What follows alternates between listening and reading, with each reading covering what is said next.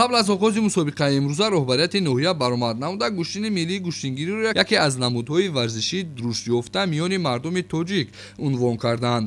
Гӯштини миллии гӯштингирӣ бештар миёни мардуми мо шӯҳрати беандоза дошта аз рӯи ин намуди варзиш асосан мардон майдондорӣ мекунанд. Солҳои охир бонувон низ ба ин набарди майдонӣ мароғ зоҳир менамоянд. Зимни баргузории ин сабқат гуфта шуд ки ба хотири ҷаҳонӣ гаштани ин риштаи варзиш дар шаҳри цюрихи давлати шветсария федератсияи байналмилалии гӯштингирӣ ба қайд гирифта шуда минбаъд мусобиқаҳо аз рӯи ин намуди варзиш низ дар тамоми дунё баргузор хоҳанд шуд нахуст нерӯозмӯиҳо миёни кӯдакону наврасони вазни 25 то 70 гузаронида шуда маҳорати худро дар ин мусобиқа нишон доданд имрӯзҳо дар сартосари ҷумҳурии соҳиби истиқлоламон бахшида ба наврӯзи байналмилалӣ ки наврӯзи мо ҷаҳонӣ шуд чорабиниҳои варзишӣ дар сатҳи баланд гузашта истодааст. Барои ҷалби ҷавонон ки тарбия намудан дар соҳаи варзиш ки солимии миллат аст имрӯз ба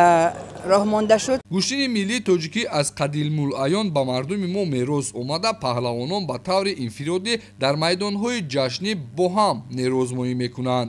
Яке аз бартарияти ин риштаи варзиш миёни сокинон дар он аст ки барои баргузории мусобиқаҳои анъанавӣ бо иштироки васеи варзишгарону мухлисон сохтумон ва ё бунёди толору майдонҳо зарурат надорад ва ташкилу роҳандозии он дар ҳар як гӯшаи ватани азизамон имконпазир аст ورزش بین جوانان و نورسان خیلی انکشاف یافته است. همه روزا طبق نقشه چرابنی های بخش کو با جوانان در ناحیه هست. همه نمود ورزش قریب که استفاده برده قواز آزمایی می نمایند از جمله فوتبال بین دهه به دهه والیبال بین دختران و نورسان رفته استفاده است. مقصد اساسی ما جوانان طرز حیات سالم باشد. Асосии мо ҷавонон э, тарзи ҳаёти солим мебошад ёдовар мешавем ки баъд аз мақоми ҷаҳонӣ касб намудани гӯштини миллии гӯштингирӣ дар мусобиқаҳое ки дар кишвари мо низ гузаронида мешавад аз ҳамсоя кишварҳои ӯзбекистон афғонистон низ паҳлавонон ташриф меоваранд ва байни паҳлавонони мо нерӯозмоӣ намуда маҳорати гӯштингирии худро нишон медиҳанд паҳлавони ӯзбекистонӣ бо номи зоҳид дар чандин мусобиқаҳои кишвари мо ширкати фаъолона дошт ва дар имрӯза мусобиқа низ маҳорати хуби نشان داد.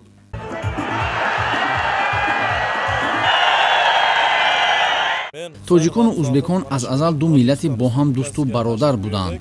Имрӯз дар мустаҳкам гардидани муносибатҳои дӯстонаи ин ду миллат нақши президенти ҷумҳурии тоҷикистон муҳтарам эмомалӣ раҳмон ва президенти ҷумҳурии ӯзбекистон муҳтарам шавкат мирзиёев баръало мушоҳида мегардад ки чандин маротиба паҳлавонони тоҷикистон дар мусобиқаҳои гуногуни варзишӣ дар ҷумҳурии ӯзбекистон ширкат намуданд.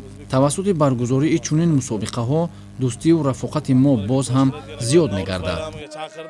Бояд гуфт ки аҷдодони нерӯманди мо дар масири таърих дар рафти дигар мусобиқаҳои варзишӣ ба гӯштингирӣ таваҷҷӯҳи махсус зоҳир карда бештар дар оғози фасли баҳору бедоршавии табиат бо таҷлил аз ҷашни наврӯз дар дашту даман миёни ҳам нерӯозмоӣ карда онро василаи хуби обутоби бадан таҳкими дӯстӣ ва интихоби тарзи ҳаёти солим медонистанд дар мусобиқаи имрӯза низ байни паҳлавонони синни болоӣ то дер боз рақобат идома ёфт.